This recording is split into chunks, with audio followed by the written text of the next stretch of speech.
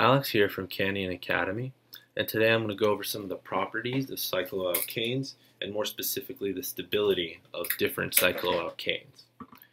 So right above here I drew out the, some of the different cycloalkanes, each differ by, of course, adding a carbon to the ring, where at first we have the cyclopropane, we then have the cyclobutane, and so on and so forth.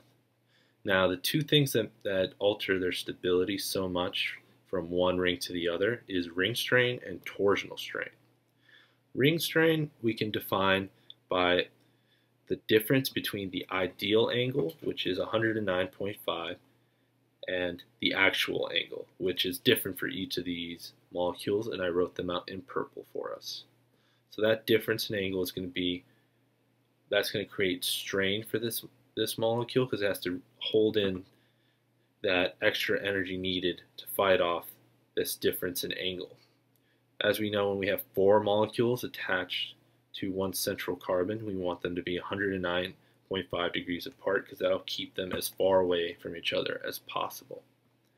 And when you're internal or inside a ring, it, it what happens is they get locked in place by other bonds that prevent this angle from being achieved. And we then we also have torsional strain, which is kind of a side effect of ring strain. Since again these carbons are held in place by these single bonds, they are also forced to stay in one conformation at times unless you have more carbons in that ring to achieve better ring strain and better torsional strain. Okay, so let's first talk about cyclopropane, which has angles of 60 degrees each. It has one of the most total strain because it has suffers from both ring strain and torsional strain. It has a huge difference at 60 degrees each angle versus 109.5 being our ideal.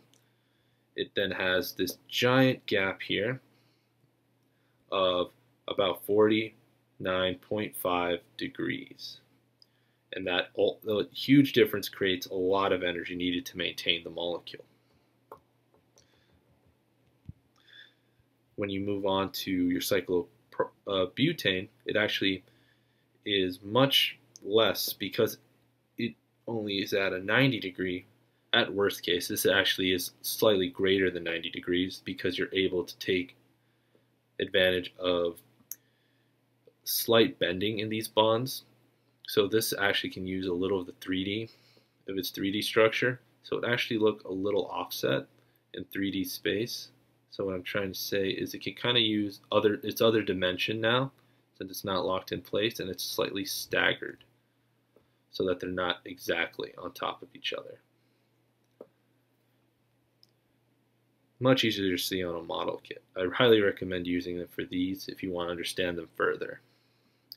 Now also you have torsional strain between these molecules. Because, as I said, the cyclopropane is locked in place, these bonds can't really shift much. The, C, the hydrogen bonds off the side of it are also locked in place, meaning that they are constantly eclipsing each other. As shown in this diagram here, they are in, in a complete eclipse because the carbons on the molecule, if looked at through a top view, are both on top of each other, the hydrogens are also on top of each other, causing torsional strain as well. Torsional strain is the energy trying to uh, break out, trying to untwist, to torsion itself, twist and actually be in a more stable. There's no, this thing can't twist at all, so there's a ton of strain trying to push out and, uh, and to untwist this, these bonds. Now, if we talked about cyclobutane, it, you have a little bit more of its 3D help because it can twist now these bonds just in between these two with it slightly offset. If we wanted to get this gauche conformation, we would have to add a lot more carbons to that ring. We would end up having to have a total of six and making our cyclohexane. Cyclohexane is unique because it has almost no strain in its most stable conformation which is the, the chair conformation. Here, and when we have six carbons in a ring, they can all twist perfectly in that chair conformation, which looks a lot like this model here, when it, using our 3D space, being able to go up and down, these carbons actually make 109 degree uh, 109 degree angles, meaning they are extremely close to that 109.5. Now, since it's so has no ring strain at all basically, has almost no torsional strain, this has a total of zero and is our basically our island of stability. The funny thing happens when we add another carbon to it, we go back to be having a ton of ring strain because this extra carbon actually destroys our angle and it can't twist as perfectly as the cyclohexane can. Now we're back to about 100 degrees, making it slightly more unstable than cyclobutane.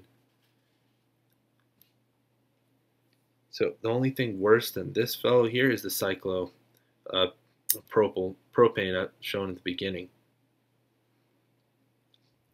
This is actually kind of due to the amount of angles we have here. Altogether, there's a lot of strain. Individually, this isn't this this is not a lot.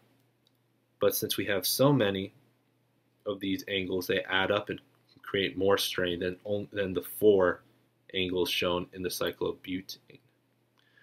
If we went over the individual ring strain of each, these would be by far worse than the cycloheptane.